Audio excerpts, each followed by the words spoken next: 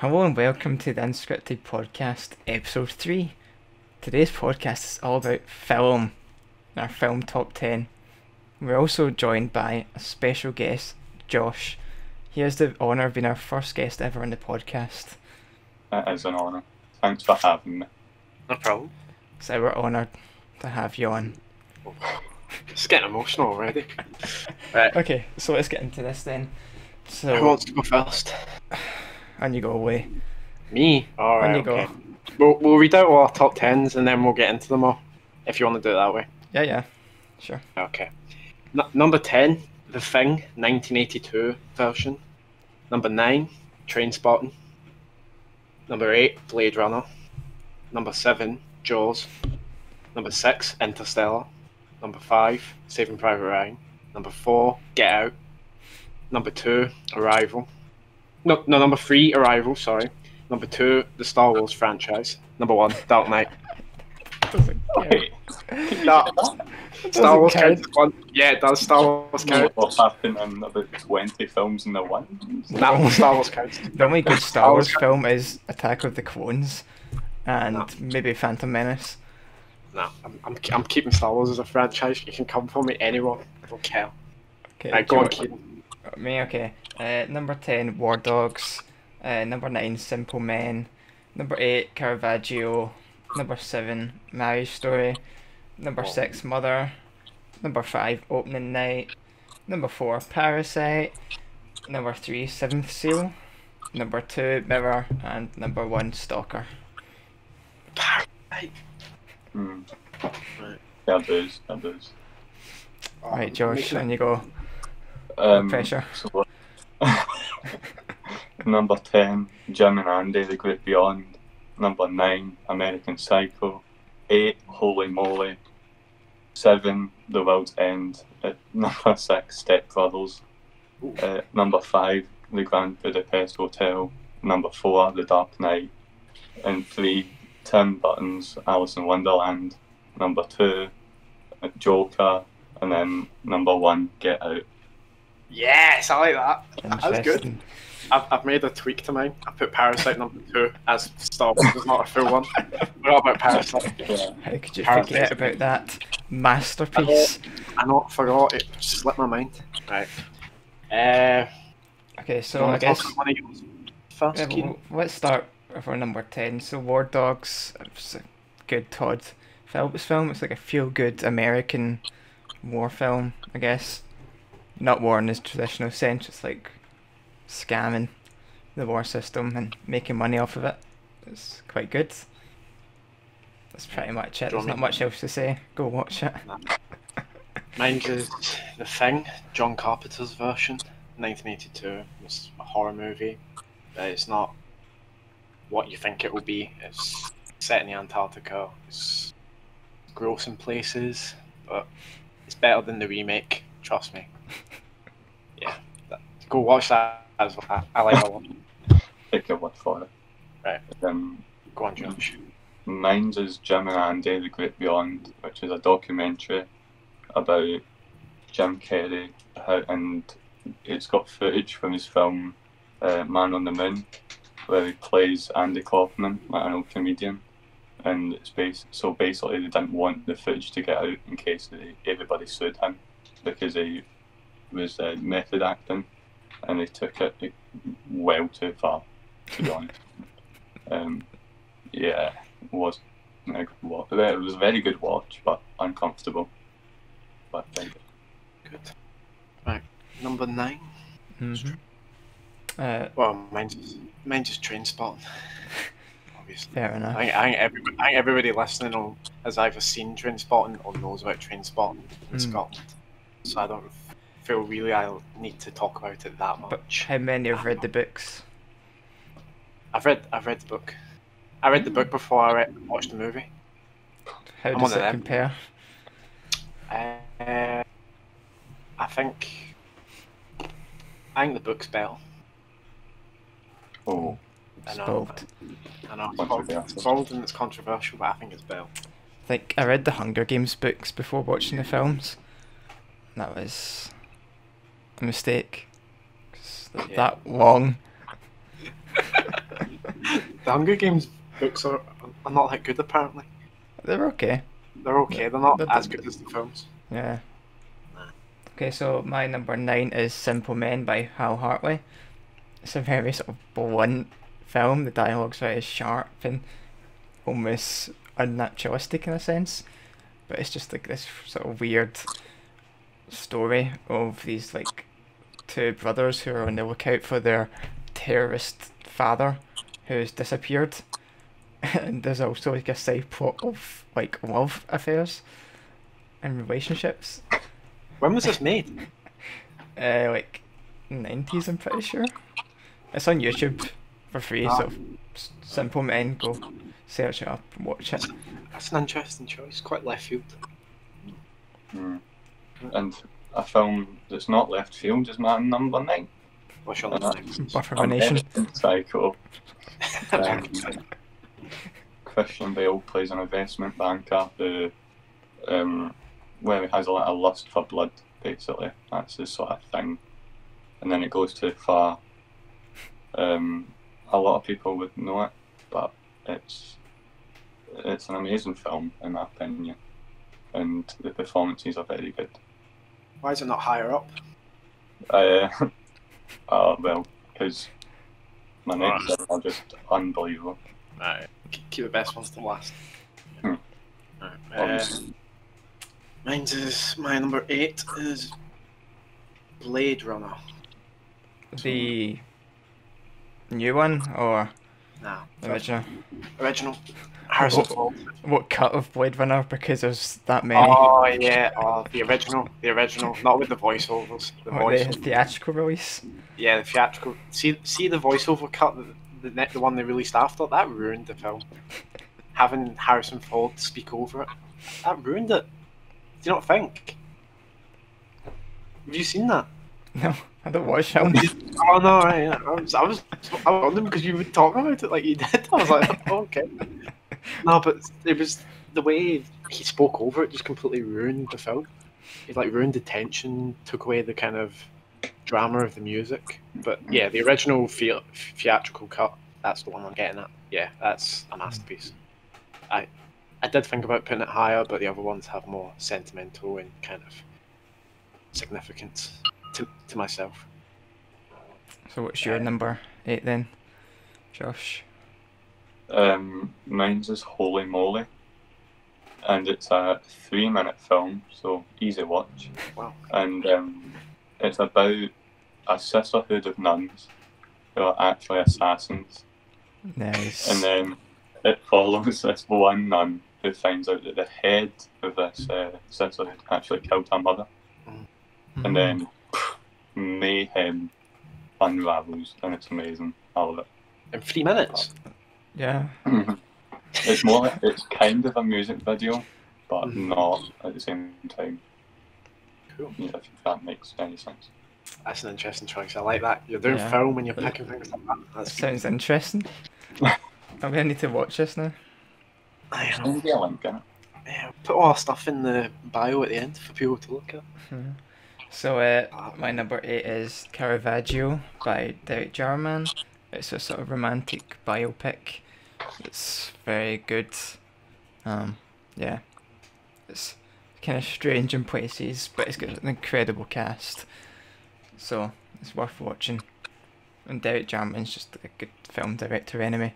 He did the best film that you will ever hear, which is Blue. It's on YouTube for free, and it's just a blue screen the entire time while Derek Jarman commentates. Like, I have never heard of that film. No, me. Uh, Just picture a boy background and a person talking, and that's it. That's it. hmm Oh, Should go watch that as well. that sounds equally as interesting. I guess I'll, I'll go to my number seven, which is uh, Marriage Story, which Mhm. is a great film. So gritty, naturalistic, makes you not want to get married. I mean, the performances from Adam Driver and Scarlett Johansson are fantastic. I think as well, it's just very well paced. The idea of at first you're with one character on one side, and then you transition onto the other character's side as the film progresses as well. So it keeps you engaged. Yeah.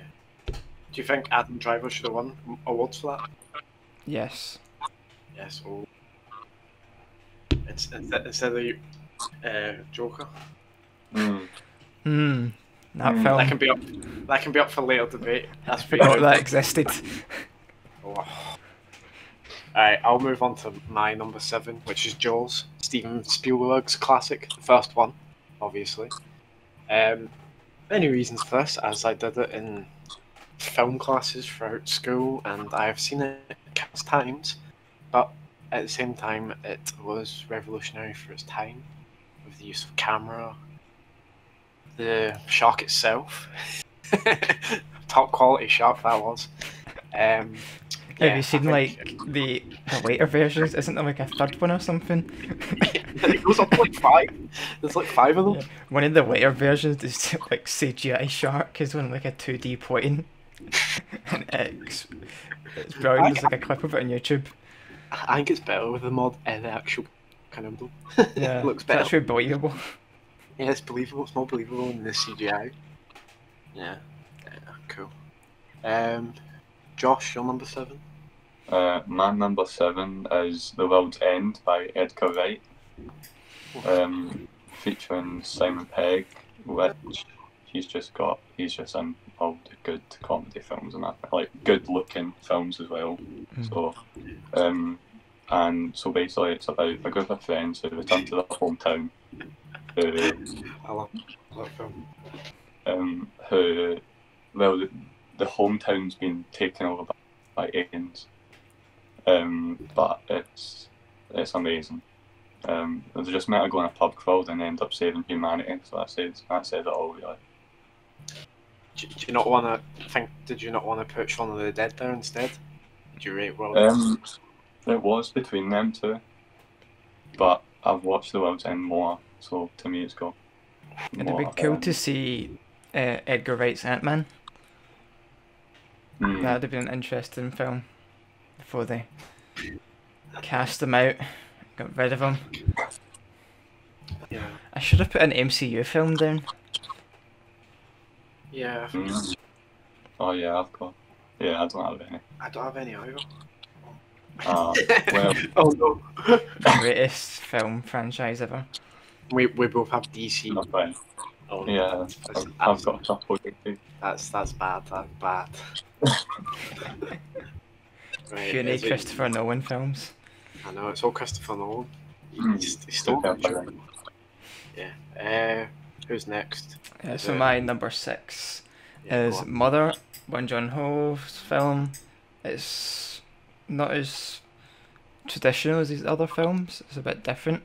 It's about a mother and son, and the son seemingly kills somebody, and the mother has to try and prove that he's innocent because the son can't remember anything. And it's this mother is a psycho basically, and will not stop until she like proves that he is not guilty. Is this a recent release? No. No. no. Sorry, I'm not, I'm not questioning you. I'm not, I, I don't expect you to know that. I don't know That's- dates. Nah, I don't know dates either. Don't worry. It's fine. Yeah, it's on the Uh, BFI player, I think. So it's worth watching. Uh, is it? Is it me next or? Hmm? Uh, it's me next, isn't it? Yeah. Uh, number six, Interstellar. That, that, well, you, you sit there and laugh. I, I don't think you should laugh. That's a good I film. think it's a very good film. It's a very good film. It's a very good score. Yeah, it's, yeah. Oh yeah, the score is especially Hans Zimmer. Yeah, that's. I think that's his best score that he's done. I think Yeah, it's better than Inception. I would agree. It's better. It's better than Inception. It's got more. But It, it feels less rushed. composed Lion King as well. He did. Oh yeah, he did. Yeah, so Yeah, Lion the- King's also number one. Yeah, no, Lion King. Lion King is number one, obviously, but you know, Mhm. yeah, Interstellar next. Yeah, I, I, I feel like Interstellar is a, a different take on. It's not your kind of classic kind of time traveling kind of movie. It's different and it's got more emotion to it. And I think the score definitely does carry its weight and helps it a lot. What did you think of the bookshelf scene? I thought it was a very good scene. I liked it a lot. Why? Why? Why? Why? Just makes no sense. Why are you asking? Well, it, it does if you. Oh, you, you need to look into it more. I don't want to spoil it for people. Obviously, if you, if they're watching, they want to watch it. But like, I think, think scenes like that make it different and unique from different time traveling classic movies from like I don't know, the eighties Back and to the Future. yeah, Back to the Future. Yeah, Back to the Future was good for its time, but now you look at it, it's Avengers Endgame. No, that was rubbish. That's, that wasn't very good. That was Yeah, not even top ten this year. So Disappointing. oh, oh my god, I've, le- I've legit forgot. What one was the bef- before Endgame? It was uh, Infinity War. Infinity War was good. That was good. That was better than that was better than Endgame by a mile. You can't say otherwise. I mean, I agree. you you said it. So I've, No, I've said it. But Why, what you Scorsese think, wouldn't approve. I don't care what Scorsese's got to say. Anyway, um, who's number six now? It's Um, Josh. Josh. me, my number six is Step Brothers. Yeah. Um, just a stupid film that Yeah. you can always watch to cheer you up. Um, and it's just a well, Will Ferrell classic. Like it's just, just his trademark film. Like, oh, it's so funny, but so stupid. But that's what makes it so good.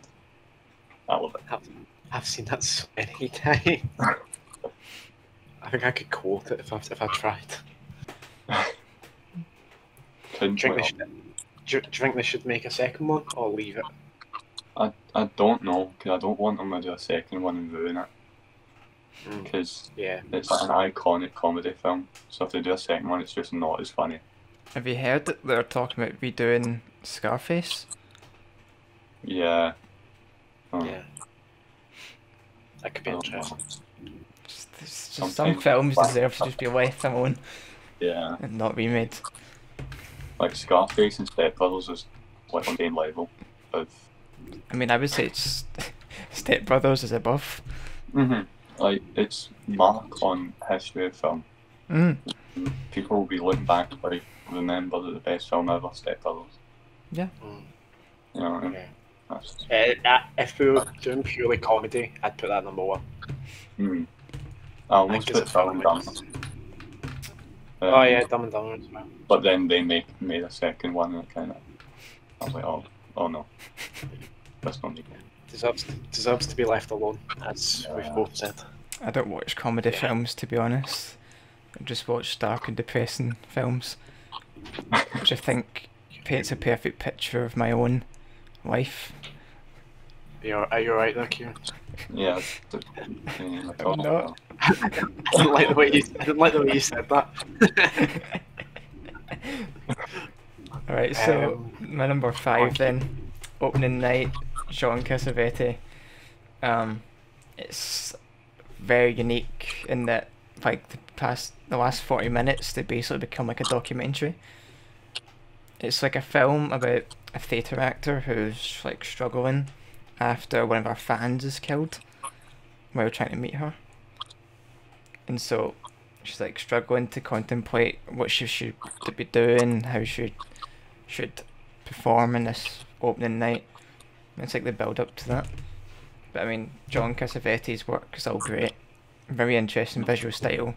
Sort of long lenses following people. And at times it almost feels like it's the end of a take where the camera's very jarring and it just cuts. So, should watch. It's another naturalistic one. It's quite long. Is he one of your is he one of your biggest inspirations then? Yes, I like to think so. Interesting, interesting. Do you base all your stuff off of him that you do? You know, or do you try and take things from his work and put your own spin on it? If you're asking if I copy his work, you're absolutely saying correct. you- It's Alright, inspiration. Yes, Yeah. I, I'm inspired by his work. You're, you're copying it, but you're putting your own spin on. I haven't made any films good enough to even be called a copy. no, not yet, but this time. Perhaps one day. Okay. Is it? Oh, it's my number five, isn't it? Mhm. Alright, mine's just Saving Private Ryan. One of the best war films out there. Uh, Spielberg again. Uh, Yep. About it's about a rescue mission, obviously. I think the the scene that has most significance is when they're stuck on the beach and they're being fired at. It's not it's not a spoiler, but it just I think it kind of it was like the first war film that kind of painted the kind of horrific kind of nature of the war and kind of that kind of scenario of being stuck at the beach and being not being able to move with gunfire and kind of missiles flying at you. I think I think that was a very important piece in cinematography in the last decade. Any opinions from you? Decade? Yeah. Decade was 10 years ago. Yeah. Last decade. The last decade. Yeah, 2010s upwards. That's decade. Uh huh. Yeah, last decade. The film didn't It come was in the last last decade, Yeah, it did. did it? Oh no, it didn't. Oh no, it didn't. No, no, no, no, no, no, no. I've been Oh, no, no, no. outsmarted. Oh no, no, you, no. You've, uh, you've, you're right. You're completely correct. I thought it was sooner than that. Nah, never mind. Shocking. Yeah. Sorry. Here's me thinking you. As, as you said, as you said, as you, nah, as you said earlier, as you said earlier, I'm not very, we're not very good with dates. I completely forgot about that. Yeah. Anyway, m- move on to someone else's number five. The dates have ruined I'll, me. I'll, I'll Fine. take over. Uh, Show 'em how it's done. No, don't. I can't believe that. My number five is The Grand Budapest Hotel, um, directed by Wes Anderson, who I think is one of the best directors, to be honest, in my opinion. I'll be uh, throwing it out there. Because visually, all, all of his films are just stunning Mhm. um, and pleasing and like easy to watch as well. Um, and especially in this scene, there's one where the main character in it, Gustav, um, gets accused of a murder in his own hotel, and he's so the camera never moves for about five minutes, doesn't move for like five minutes, um, and it's just perfectly symmetrical, and you're like that, it's just beautiful, and the, I mean, it doesn't use depth of field, so he doesn't really care about making things shallow or deep or whatever. He's just like, this is how it is. Um, but yeah, the story is that this uh, man Gustav runs a hotel and gets accused of murder, um, and then this whole film is him trying to prove his innocence. And it's Anything to say on colourful. that? Very like always Anderson films. Yeah. I feel like you're gonna have to shift to your right now, so you're bang on centre with your Yeah, webcam. symmetrical. hmm Perfect. Wes Wes Anderson would be proud. I'm defying it. yeah, So, no, but you're, you're being symbolic. That's uh, in very interesting. You being in the corner of the screen is representative of how you feel in society. mm, Yeah, exactly. Suppressed. that deep. Suppressed, oppressed, everything. Uh, Kieran, go on. Give us your Number is it number four? number. Yeah. Yeah, number four. This is when we start to get Juicy. Parasite. The dates might go flying. Right, can Yeah. I can I say something? I changed to Parasite number four. I switched it in. Um, So I feel I'll jump in with yeah, yeah, Parasite's my number four. It's absolutely fantastic film. Sort of commentary on social class and divide, not just in like Korea, but also in the world. It's yeah. I hesitate Yeah. to use the word masterpiece, but it's a masterpiece. I'd, I'd, I'd, I'd like to say it's a masterpiece as well. oh, I can't believe it. Isn't it the first Korean film to win? Was it? Was it best film or yeah? It was the first Korean film to Best win it. picture, yeah, yeah. wasn't it? yeah. And he was the be- first Korean director to win it as well. Mm-hmm. That's that's insane. That is He's, insane. he's, I mean, he's got to be one of the best directors in this century and the last century. Big shout. Yeah. That's, I think so. Yeah.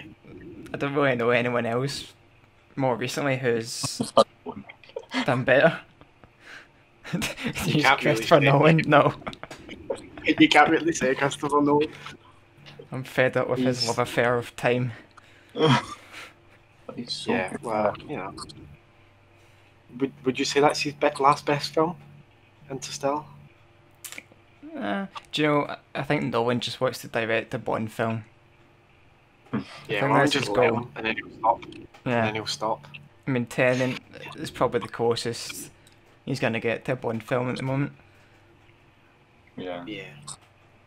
Who is? Yeah. Do you know who is directing the new Bond film, or who's already done it? Uh, his name escapes me. Was it not meant to be Danny Boyle? Possibly. Possibly. I, I think it was meant to be then. I don't know Hmm. if he got, got the Didn't job. he pull out? Yeah. I think he pulled. Yeah. I That would he have been was- really interesting though if it was Danny Boyle. Yeah. I, I know think he they was cast him. to be in it. We should really know the Bond director, to be fair, but Yeah, but I mean, hmm. the Okay. tired old franchise. yeah, like Star Wars. Yep. don't go for Star Wars like that. That holds that holds value in my childhood. We just ignore all of the sequels. Hmm. Yeah, ignore the new ones. They're rubbish. It's, it's, it's, it's the old ones. They're, they're the best ones. Classics. The classics are the best. Uh, do you want to go, Josh, on your number four? Because me and Kieran have the same number four. Fair. Uh, my number four is uh, The Dark Knight by Christopher Nolan. What a director. Yes, that's his best Um, film. Yeah, I agree. That is his best film. That's his best Uh, film. um, Batman is like my favourite uh, superhero. Um, and Heath Ledger's performance as Joker was outstanding. Um, so I'm, I think he sort of made it what it is, to be honest. Like the Yeah. in film, yeah, Jack Nicholson was good, but it wasn't like, oh, who's going to follow that up? But then, I mean, don't need to talk about the Joker in between Heath Ledger and Joaquin, but um, but It has- also um, And you hmm? Thank you. No, It has okay. such a clear style as well. It's very, very high contrast, and that's something Yeah. that's consistent throughout. I feel like as well, looking at your background, you should have like a poster of Gotham on your wall. it would fit in perfectly. just got like city landscapes in the background. I've got a Batman poster right there. So I'm a, could say I'm a fan. Um, but also the story of him in this film, especially, he comes across it's like this. He doesn't know what the line is between being a hero and sort of doing right and wrong, which I really like in this film. But Heath Ledger sort of stole the show, didn't it? So What's would you, that? would you class. Or go on, Kieran. Go on. What's that uh, quote from like Batman Begins oh, that Rachel tells him? oh, Do you Oh. know what I'm talking about? It's like, Oh, I know that. I mean, and then he like repeats it. on- he repeats it on the ledge on the roof, and then he just jumps off. oh, that's annoying. Um, Is it is it the scene where the ro- Oh no, it wouldn't be the scene where the it's not, comes in. it's not coming to me. Nah, it's not coming to. me. Uh, I've, I've got a few. what were you gonna say? Lee? I've got a few questions for Josh about the Dark Knight. if Oh. Alright. Don't, don't do that. No, no, it's simple. It's simple. Right. Would Would you class Batman as an as a legit superhero or just a rich man with a shit ton of money? um, I would say he's a superhero. No, What do you think defines? What do you think defines a superhero? What defines a superhero? It's interesting um, because he's like on the cusp. Yeah, that that's the thing. He is like 50-50. He is just extremely wealthy and can fight. But I, su- I, I suppose his backstory is helps. yeah, yeah, that's what superheroes need a backstory, don't they?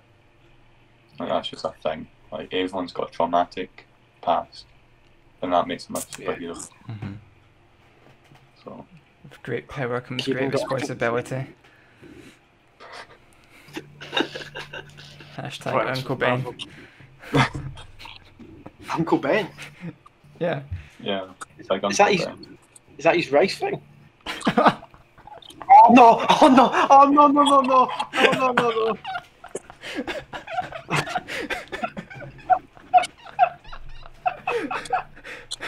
I've, I've just realised what you said. Spider Man, yes. Oh no way! oh. Oh no! That's shocking. it's brilliant. I'm sorry. I'm sorry to all the listeners. I'm not at it today. I'll try my best. Uh, new Uncle Ben's foggy. I was wondering, you, were ta- you were talking about Batman. and I was like, why are you going to jump to Spider Man? Don't do that to me. Don't scare me. I was gonna, I was gonna say something about um, Heath Ledger's performance in comparison to most recent Jokers. Do you think it's still the best, or Um, it's tough to judge in my opinion because obviously Joaquin Phoenix got his own film, and he was like Yeah. it was the origin story and into how he became Joker. But with Heath Ledger, he was just like, and he was just like Joker from the beginning. And a wee, he was like, um, he was like, uh, what's it? what's the word? Side character, but also main villain. If you know what I mean. Yeah. Um, Antagonist. yeah, that. yeah, antagonist? Yeah. Um, There but I think Heath played Joker better than Joaquin Phoenix in my opinion. Like the I- actual yeah, the I agree. Yeah, but I, I do agree. I do agree. I also think he was just in a better Joker film. Yeah, well, well. you know, we don't need to get into that at the moment. Let's get into that when I review my number. okay, so number three is it? yeah. Uh, okay, so for me it's uh, Seventh Seal. It's absolutely fantastic film. It's sort of social commentary on religion, life and death. It's very, very good. Sort of metaphorical, um, spiritual, really symbolic. But yes, basically this knight plays a chess game with uh, death itself. And so yeah, I- I mean it's on YouTube as well for free, so it's worth watching. A lot of your films on YouTube. It's just where all good films are apparently. Fair enough. Go, yeah, go you. Uh, does that have any significance in your films or anything like that? I am nowhere it's near Bergman's level. No, but I mean, do One you aspires try to. and- yeah, do you I mean- aspire to be like him? Yeah, definitely. I mean, the symbolic point of view, absolutely. Metaphorical point of view. That's something that I've taken to my own films. Yeah. Cool. Who, uh, do you want me to go next? Sure. Um, yeah. Mine- Mine's will be quick 'cause I bet you two don't have this. Um, Arrival, sci-fi film, 2016. Amy Uh, Adams. Chosen. Yeah, Amy Adams. The whole thing about the aliens communicating through language. I like it in particular because of the music by uh, my favorite soundtrack movie composer, whatever you want to call it, Jóhann Jóhannsson. He recently, well, he didn't recently, but he passed away like a year ago, two years ago. And that's, I think, the score there particularly holds significance in the way it kind of moves the story, builds up the aliens, because the aliens aren't your typical kind of alien versus predator. It's more kind of mysterious and unknown, and you don't know what they'll do next. And I think the music adds to that very well. Yeah. It's Go, go watch film. it. That's Yeah. say. I think it's a very good film. It's one of the best sci- sci-fi films in recent times. Amy Adams' performance as well is brilliant in it. Yeah, she is very good in it. Actually, it's one of her better things, isn't it? I think. Alright, J- Josh, on you go then. Um, my number three is Tim Burton's Alice in Wonderland. Yeah. not the biggest film. It's not been. It's not going to go down in history, but that was the film that got me into uh, directing, and I, I, from that I really fell in love with film. Um, and Tim Burton's like my favourite director. uh, so I'm like a popular person film, but so what? Um, but yeah, when I saw that, I was like, wait, you can do this. You you can make stuff like this in film. Since when? What? Mm. And then it, I ju- it was it's just unbelievable when I was young. And then they made a second one yet again, and it's just sometimes just, people need to stop making second ones. Is my opinion. Yeah. The only good sequel I'd say is Godfather, Part Two. Mm, Yeah. Hmm they didn't know what Yeah, they were God- doing. But is that is that uh, Alice in Wonderland the one with Johnny Depp? Uh, Yeah, I yeah, about to it was. Yeah. I saw that in the Hellbound cinema Carter. actually. Mm. I mean, you could go to Tim Burton's like back catalog and go Johnny Depp, Johnny Depp, Johnny Depp, Johnny Depp. so apart from like I f- there's like I feel like three films he's not in. Johnny Depp is Batman. Um, Make it happen. no, let's not. Yeah. Let, let's leave Let's that. not do that. Yeah, we've already got Twilight doing Batman. I can't believe that. No, no, no. Hold on, hold on. No, You you No, think I you'll get? believe that. You, you'll get? Do you think he'll be good? he's gonna. He's the thing is right. People only know him from Twilight, but he's done some amazing films. The Lighthouse, been one of them. Good time. Yeah. He's an amazing actor. I could have put that down. I'm Yeah. I'm joking. I think he'll, I think he'll be good. I think he'll be better than um. Mhm. Oh, who was the previous? Ben Ben Affleck. Affleck. Ben Affleck. Yeah. What a I disgrace. did not enjoy Ben Affleck at No, all. he's- I thought it was he's god terrible. awful. I was mean, it was- bad. Terrible writing as well, to be fair. Mm. Yeah, that Batman versus Superman film is truly dreadful. That is so Oh bad. my goodness. Oh, Yeah, that was bad. That was very bad. Yeah. but also Uh, Matt, who's directing the new Batman, who directed Planet of the Apes, is in good Mhm. hands. I'm Mm. confident. Confident. Right, I like Planet of the Apes. Number two. I just wanted to say that. you know, the number two. go on, Kieran. Uh, Go on. Well, last two are by the same man, actually. But uh, number two is Mirror by none other than Tarkovsky. Such a beautiful film. That's, I mean, there's not Go much more to say about it. It's very long. It's, Oh, it's one of those ones you gotta sit down and just immerse yourself. And to do that with a lot of Tarkovsky's work. It's really symbolic and metaphorical and poetic. Um, Mirror is just another one of them. It's really, really good. Is that it? Is that, is that That's all you it. got to say? That's it. Watch it. And it, watch it. Just go watch it, and that's it. Just go watch all of these films. Yeah, we'll put them in the description and stuff like that. Um, you know, I'll, It we'll put it there. You know. It's not that easy to watch all these films. You need to either buy the No, I know, set but you know, or uh, if you, if you use Criterion Channel, which is only available in America, unless you have a um, what's that called? VPN, VPN. VPN. Hashtag- Hashtag not sponsored. Hashtag not sponsored. Hashtag not affiliated with it. uh, right, okay. My number two is Get Out. Hmm. Obviously, Ho- you- it's a horror movie Peele. on the surface. Yeah, Jordan Peele, up and coming. One that I think one of the best at the moment. Is he? Can Yeah, he he's- be he's- up and coming? He's established at this point. I know. He's Yeah, he's established then. Right, okay. He, he was up and coming when this movie did. You got you got to admit, no one re- like you, people within the film knew of him, but he wasn't like what he is now. Mainstream.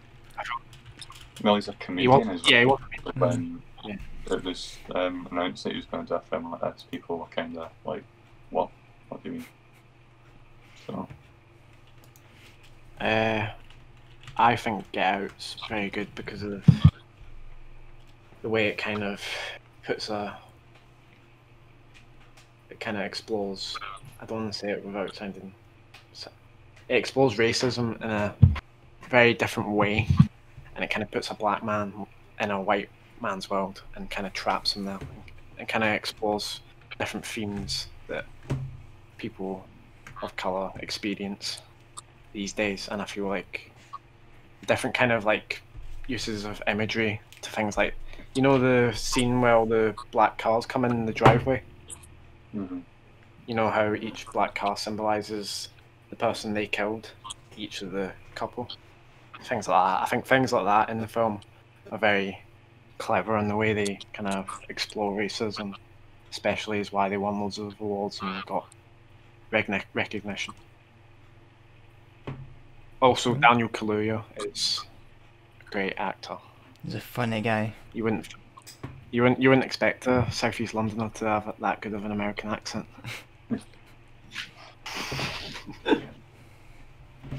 uh, Josh, your number two. Well, I'm thinking I might put Get Out of my number two now, just just so we can get into the get into the debate later on. I know what's coming. yeah. Yeah, So, go on, Josh. um, Give us your opinion. I'm biting my tongue. So well, I'll, I'll, I'll just we'll Get Out is my number two, and then, then when, when my reveal what's now my number one, we can get into it. Yeah. Right. Why? Why is Get Out your number two? Um, well, I only got to see it when it got added to Netflix, so I was kind of late to the party. But I watched it about ten times, and like you picked up on, the symbolism in that film is unbelievable. Like even the, the dialogue, like if you listen carefully, kind of gives away what's going on straight away. From even Mhm. when he first meets her parents and they give him a tour of the hou- house, there's hints to like slavery and all that, and you just, but like the twist, like there's a certain point where um, don't want to give it away, but he's looking Yeah. through pictures, and you're like, oh, oh, this is what's happening now. Um, and there's a obviously other there's a many points where it like keeps turning and it keeps getting worse for the guy. So I, I, I think the scene, I think the scene where he's going around the party taking photos is quite significant, and he takes of Yeah. um, you know, you, that scene. Yeah, I think that's Mhm. That's a very important scene as well, and kind of reveals Mm. what's going on. Yeah. and um, the bingo, if you will. If that's Yeah. what they were calling it anyway. That scene was unbelievable. Yeah, uh, I, I would recommend people to watch that because it's Mm, easy to watch. definitely. It's on Netflix. So yeah, Kieran, have you seen it? I have. Have you opinions? It's a good film. I think it's probably Jordan Peele's one of his best films. Because he did Yeah. Us, didn't he? Yeah. Yeah, I thought it was right. I, was, I Mm. thought it was different. See, I'm not a fan of the horror genre, so Yeah. Get I Out's mean, like if a you're- happy in between. I wouldn't, I wouldn't call it happy, but you know, Yeah. Well, it's it's an in between psychological kind thriller. of thriller. It's like Yeah. Yeah, yeah, yeah. Yeah. I thought, I thought Us was good. What's your number two? Why? Oh. And number one Number is it now? It's Number number, one. It's number, number one. one. Well, we've already spoken about it, so we'll move on quickly. Uh, Dark Knight, purely for Heath Ledger's performance and kind of how many times I have watched that movie. A lot.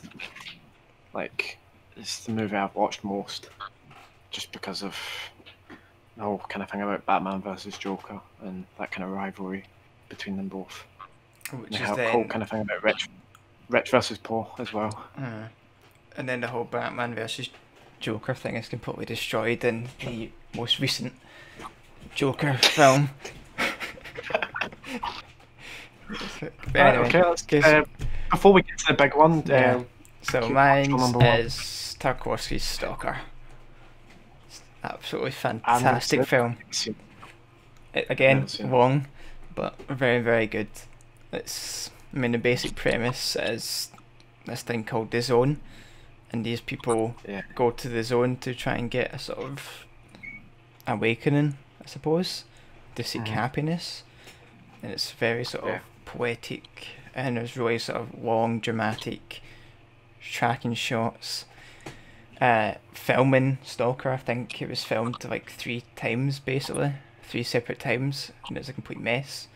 And because they were filming Yeah. in like chemical environments and abandoned plants, um, a lot of the crew involved ended up getting like cancer.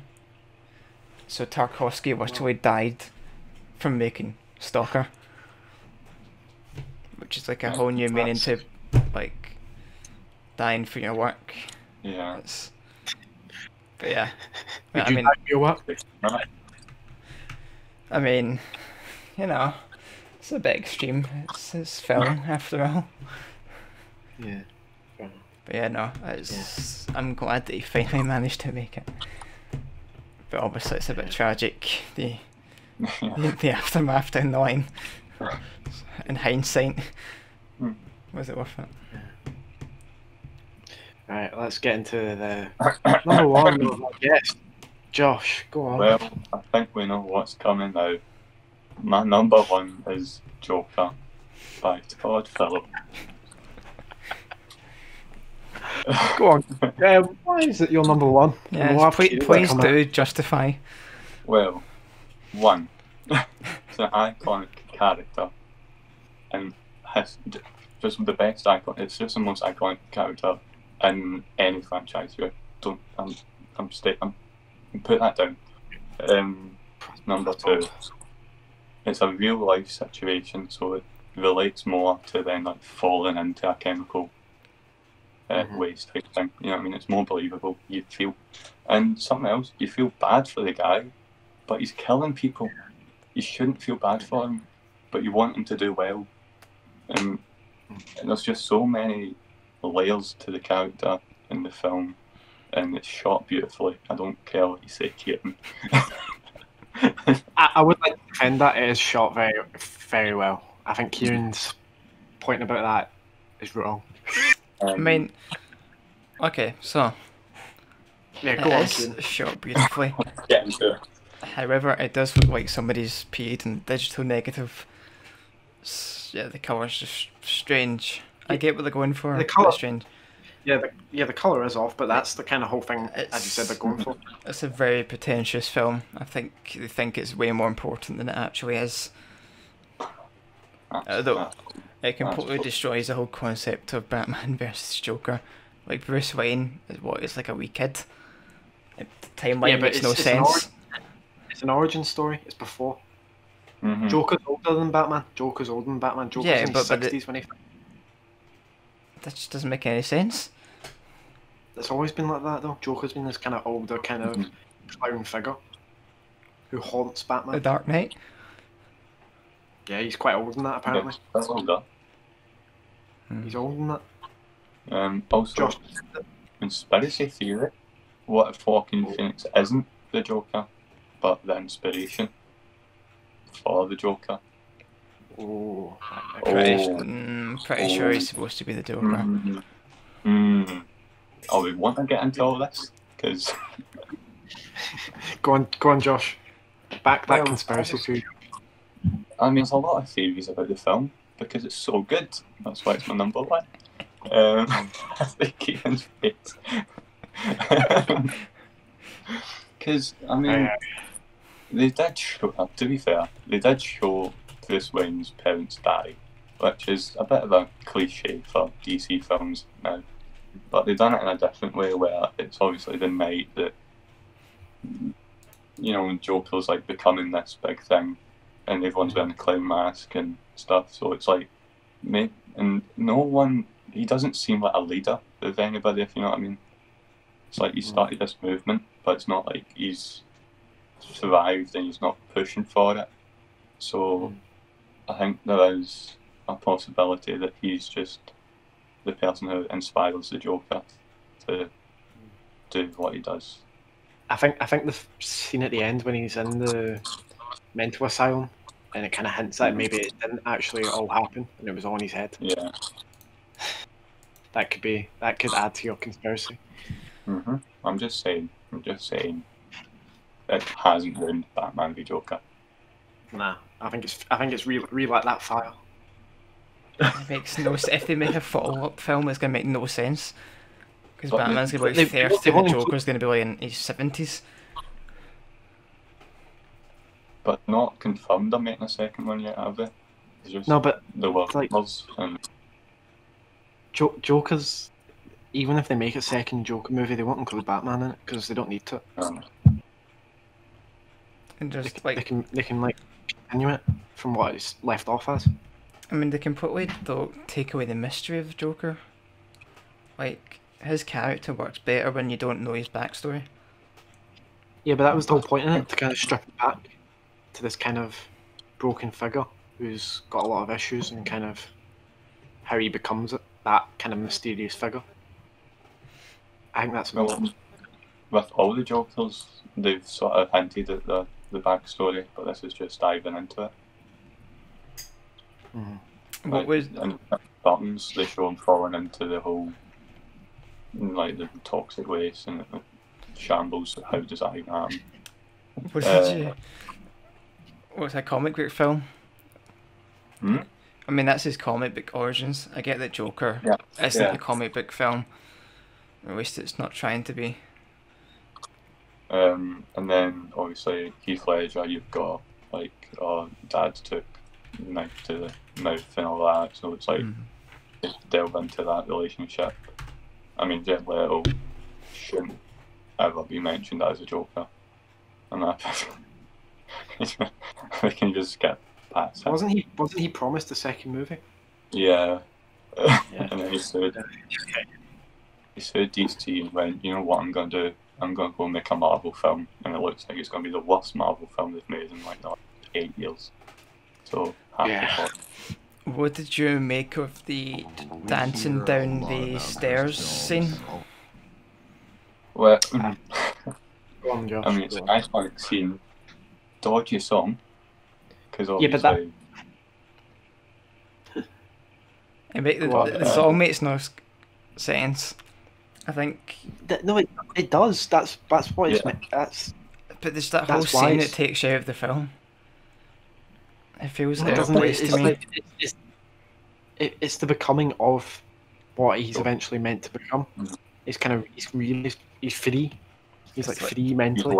It feels like they're trying to Yeah. do a sort of Tarantino needle drop, but they've just not achieved it whatsoever. Mm, That's that's harsh. That's, that's harsh. harsh. That is very harsh. That's, uh, Can't believe you said that. I think the music's very fitting for that bit. Mhm.